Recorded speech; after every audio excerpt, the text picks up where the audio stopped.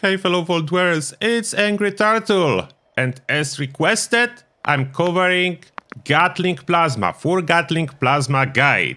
And as always, we'll go step by step, everything you need to know. Therefore, we are starting how to get one. Unfortunately, there is no guarantee legendary that you can get anywhere. About the non-legendary and random legendary weapons, you can drop them from high-level areas when you fight high-level enemies Therefore, it's totally random, RNG based. The plan you can find as well randomly in the world high level areas, but there is a way to buy that. The downside for that is it's deep inside White Spring Bunker, which means you will need to complete Enclave questline to unlock access. After you unlock access to Armored Terminal, you will find both the standard Gatling plasma weapon that can be purchased directly in here and plans. Under notes, you can see Gatling Plasma.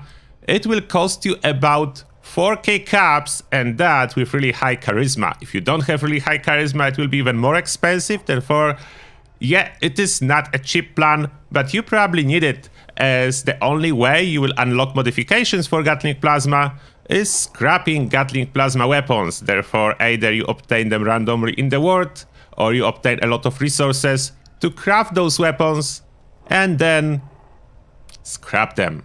Now about crafting of this weapon, you will need Science Master rank 2. In addition to that, I would recommend to equip Science Expert rank 2 as well because this perk reduces crafting cost of Gatling Plasma and crafting of this gun is quite expensive without it. On top of that, if you do plan to use this weapon or change it into legendary later, make sure that you use the respect machine boost your intelligence as far as you can because that affects durability of the crafted weapons. You can find this weapon after you learn plan in heavy guns category. Gatling plasma is in here. Of course, if you craft it just for scrapping, make sure to craft level 30 to do not overpay. And if you craft it in order to change it into legendary, make sure it's level 50. And here you can see exactly the cost with science expert rank to equip, therefore it is a reduced cost. Now about the modifications. First we are starting from the receiver. You have two options. You can keep standard or prime receiver. And here I would strongly recommend you to go for prime receiver. As you can see, that's a huge damage boost. And in case of this weapon, ultracite plasma cores are rather cheap, I will show you in a second. Next, about the barrel, you have two options, rifle barrel or standard. I would recommend to go for rifle barrel as this is reducing the recoil and recoil is the biggest downside of this weapon. After that we have magazine and there is no option to choose from and sight.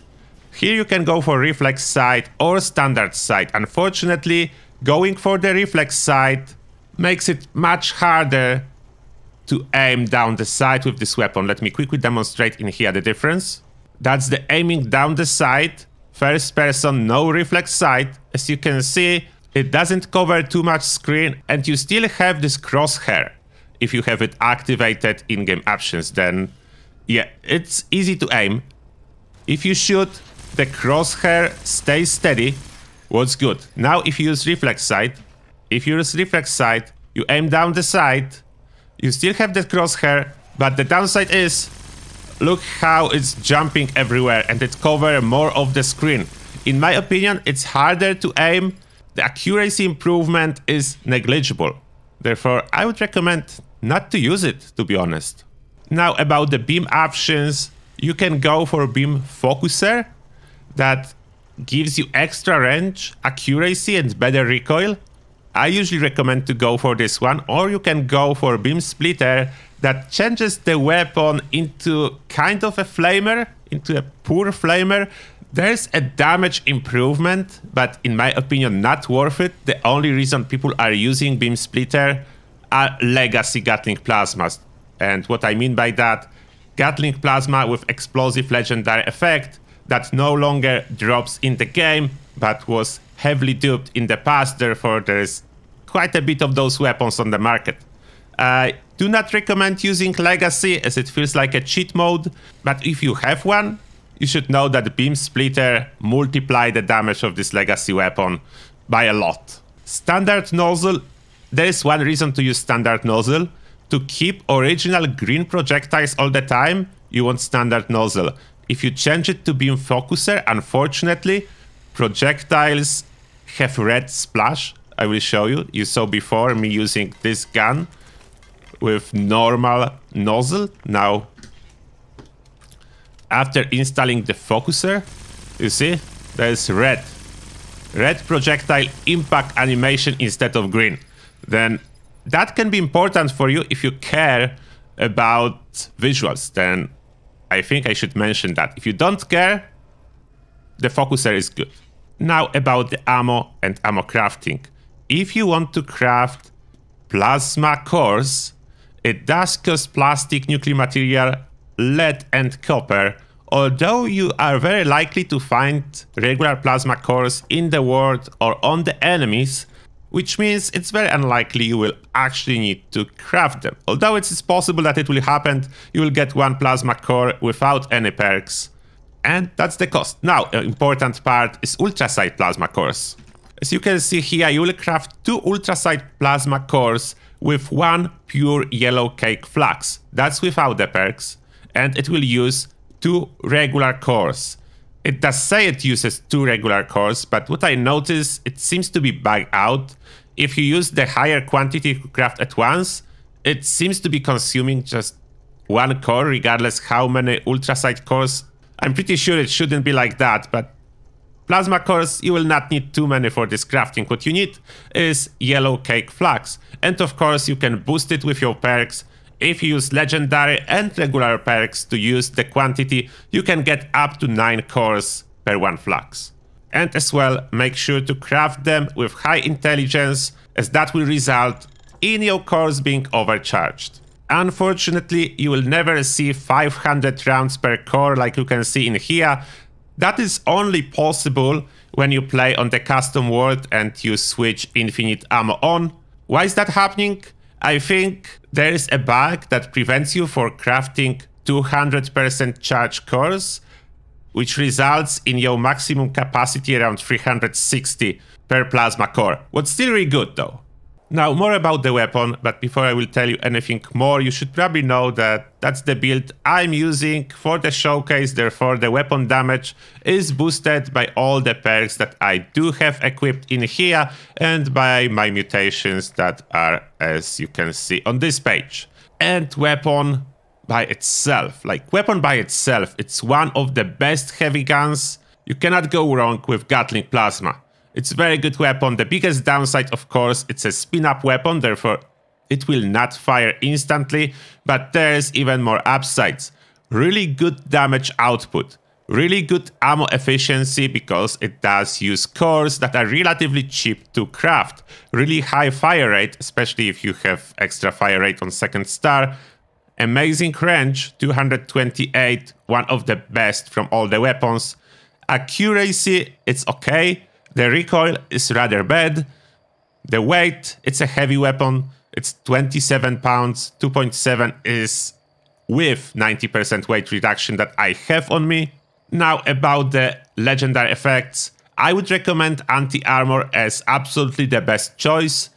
If you want, you can go, of course, for Vampire to get ultimate healing whenever you fight. About the second star, faster fire rate or damage while aiming, it's great. And about the third star, you don't need to worry too much about the third star. There is nothing game breaking.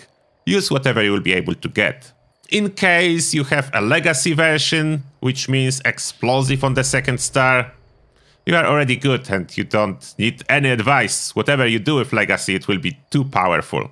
Now, combat with this weapon. One tip that I can give you on the start especially if you are fighting bosses, use this weapon in first person. And why I say in first person? Because in first person, if you aim down sight and fire, I'm intentionally firing up now, even if some enemy will try to stagger you, as you can see this doggo now, your fire will not be interrupted. Like, whatever stagger goes your way, you will be able to like avoid avoid it. I mean, not fully avoid it. There will be like a stagger animation, but you keep firing. Therefore, first person aiming down the side is like the way to go. On normal enemies, of course, hip fire is easier.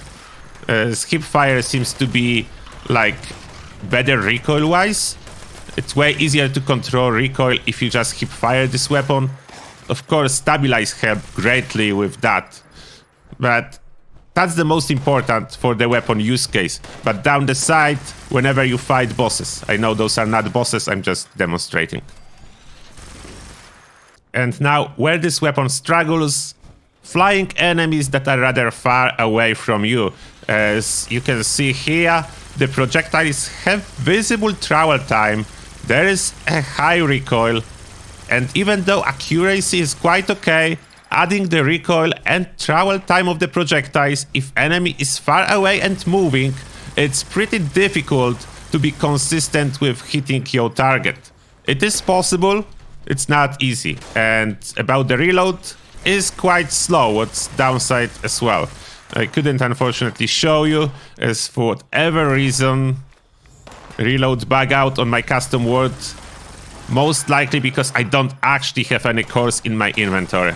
It's not happening in the normal world, therefore it's not important bug. Uh, I probably should mention there is some custom words. And as you can see, of course, the damage is amazing. The damage of this weapon, it's something you will not get disappointed about. And that will be probably everything you need to know about Gatling Plasma. Let me know if I missed something important. If you still have any questions, I will be there in the comments section. I will be checking and I will do my best to answer as many questions as I can. I never guarantee that I answer every single one. That not happening. But I answer a lot. I answer a lot. And now as always, thank you a lot for checking out this video. I hope it was helpful and see you in the next one.